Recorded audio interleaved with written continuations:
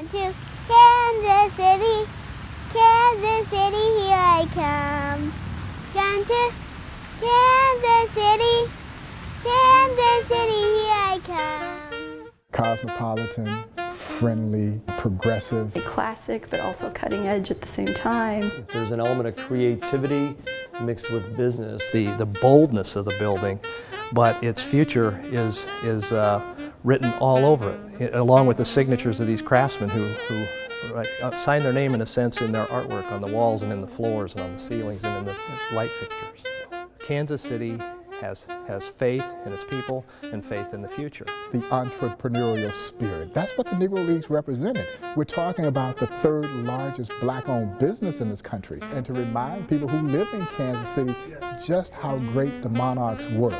When you go to another city like New York, it's NY, or LA is LA. So it kind of makes sense when you go to Kansas City, you should say KC. So they think you think you don't know type of Kansas City hustle. Where you take your time, wait your turn, and hang them up and out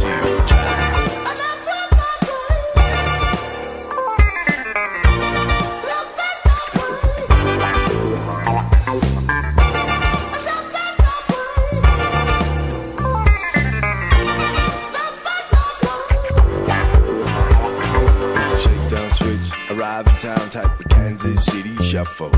Gotta play let it ride on the Kansas City shuffle. Now the tables turn, the lessons learned, you gotta earn yourself some trouble. Revenge like me, never sweet. You got yourself a long ride. The logo um, has parts of City Hall in it. And it reflects the stamp that, that the workmen left on this building. The Monarchs used to have the C and the K that linked, so we wanted to kind of reference that. And obviously all of our other sporting teams use the KC logo. So There's no question that there is some, some historical connection there, and you can see it. a symbol that could show people that Kansas City is culturally rich. I think that's a, a really a great logo to be able to have Kansas City launch its future into. It, it pops for me I think the logo feels creative, contemporary, and clean. with the reinvention of this logo.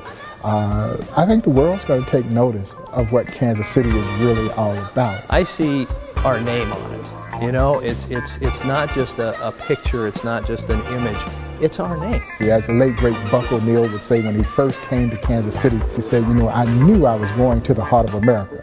I had no idea I was going to the center of the universe.